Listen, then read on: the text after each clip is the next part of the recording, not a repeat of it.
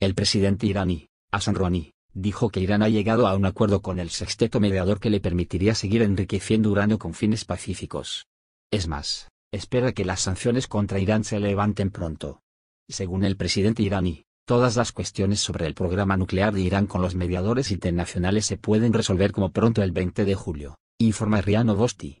Durante las conversaciones en Ginebra en noviembre del año pasado, el sexteto, Rusia, Estados Unidos, China, el Reino Unido, Francia y Alemania, e Irán llegaron a un acuerdo histórico porque Irán se comprometió a enriquecer uranio a más del 5%, y tendrá que neutralizar todas sus reservas de uranio enriquecido al 20%.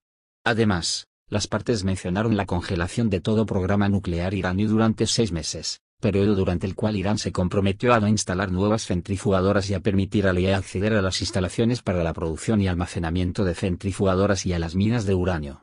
Al terminar este periodo, el OEA confirmó que Irán cumplió con sus promesas. Los tratados de Ginebra constituyeron una etapa previa al acuerdo integral que estará listo el 20 de julio.